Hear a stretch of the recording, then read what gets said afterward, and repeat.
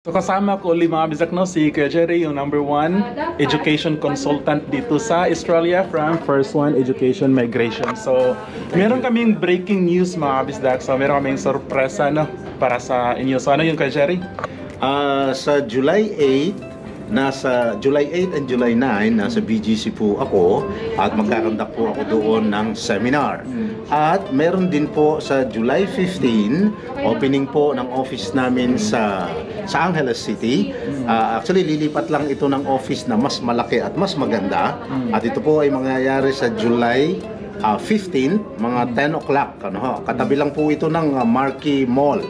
Okay, sa July 16 naman, ah, dito po mangyayari naman yung seminar. magi start po ng 1 o'clock. July 16. Ito po ay sa SM Telebastagan sa Cinema 4. Doon po mangyayari. At ang pinakamaganda po rito, kasama ko po sa bis, si Bisdak, si Kuya Bisdak sa araw na yon. Kaya sa lahat po ng gustong ah, ma-meet si Kuya Bisdak, eh pasyalan niyo po ako dun sa seminar na yon. At the same time, ah, ma- mapakinggan niyo po kung paano ang ah, pagpasok dito sa Australia.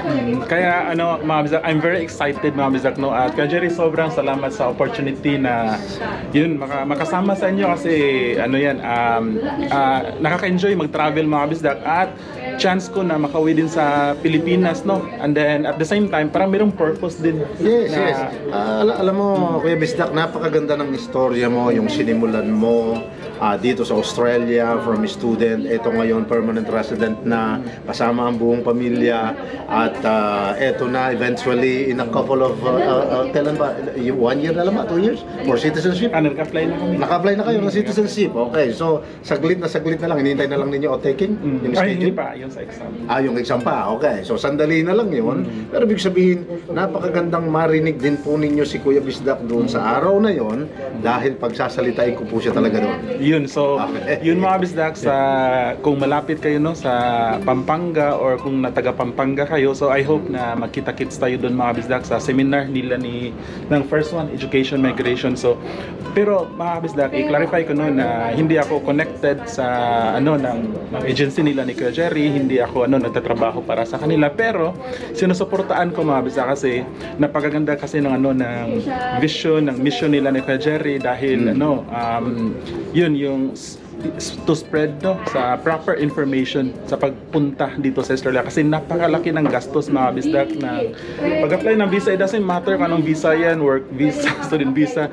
Meron Gastos yan. gastos. Yes, meron meron kang perang ilalabas. So alam ko kasi mga bisdak first gusto ko na mapunta kayo sa agency na legit. And then yun friendly na rin. Yung feel at home ka na makausap sila yung team nila ito yung team nila mga bisdak dyan So kaya ko sinusuportaan yung ano yung um, mga activity nila ni Kuya Jerry no? Kasi napaka worth it mga kabisdak. And then again um, napakaganda ng cost na ginawa nila ginagawa nila ni Kuya Jerry. Kasi nga um, magastos magastos talaga pag involved yung ganitong application. Banggitin ko na rin, ano, ah, lahat ng branches namin sa Pilipinas, meron po kami branch, mga branch dito sa BGC, Angeles City, ah, Baguio City, ah, Iloilo, Bacolod, ano ho, ah sorry, ah, Davao, ano ho, meron din po sa Papua New Guinea at lahat po nitong mga branches namin na to, ang ang singil lang namin ng processing fee, ano ho, processing fee, wala nang ibang extra charges pang kung ano-ano. Basta yung processing fee ay 18,000 pesos. Yes, oo, yun lang. Di, Yun lang totoo? ang aming. Sa 18,000 lahat ng pesos. branch? Yes, lahat yan. Ang kaliit. Yeah, eh, ina- okay na yun. Okay na yung 18,000 pesos. Tikita Para hindi, nyo, uh, hindi ganun kabigat sa bulsa So, ng mga aplikante. Ito mga Zach, hindi to scripted mga Zach, promise. So first time ko nalaman na 18,000 lang pala. 18,000 pesos tapos pagka onshore dito sa Sydney or or dito sa Australia na application ng student, hindi ako naniningil ng fee. No, grabe Wala, na. walang bayad yun. Free. So, 18,000 pesos mga bisdak is very worth it no na i mag-spend ng ganun kung yung makukuha yung guidance is napaka-legit, napaka-clear dahil kasi meron akong maganda example. So, nabanggit ko to sa last vlog ko mga bisdak. DIY kami nung nag-apply ng student visa dito. Wala, hindi kami nag-agency. Kami-kami lang. Pwede naman mga kung gusto niyo, di ba? Pwede ka, Jerry. Pero, yung ano information or time na save nyo is napaka-importante. Sa case namin, ang laking pera yung na parang hindi namin na-save dahil nag-DIY kami. Yung sa, first yung sa health insurance. So bali yung nangyari nung nag-apply kami ng uh, student ng school na bigyan kami na parang letter of offer. Sila na din nag-recommend ng health insurance. insurance, Tapos na-refer kami sa isang company na health insurance. Napakalaki na nabayaran namin one-off. 13 Magkano ina- 13,000. 13,000. Mm, For 13. 2 years. Oh, for 2 years na din. Pero- Family ito? Ah, family na din. Yeah, okay. Pero alam kasi namin na siguro makakasave kami ng, you know, a few hundreds or Yes, thousands yes. kung lum- luma- lumapit kami sa mga agency or agent na may alam. Wala kasi masa kami-kami lang. Kaya yun. Nabibigyan kasi kami ng discount ng mga health insurance provider. Oo, nabibigyan kami ng discount. Magandang discount ang naibibigay nila. Tapos, ah, meron pang maraming example mga bisdak na ah, yun nga, yung na, sa last vlog ko, yung 5-5 na reason na how I wish sana alam namin no na bago kami nag-apply ng student visa so applicable yun sa sinasabi ko ngayon na bakit importante na mag-approach kayo ng isang agent firm to assist you with your application So, Kuya Jerry, salamat no. And then, kita-kits tayo mga kabisdak sa Pampang... Ano, di ba sabi mo ngayon, SM? Ah, ang yung ah, yung bagong yung open na office, ano yung lilipatan na office, ah, nasa kon lang ito, nasa katabi ng ah, ng Marquee Mall. So, doon doon tayo. Oo, doon mag, ah, mag- kasama rin kita doon. Sa Nice. opening ng office.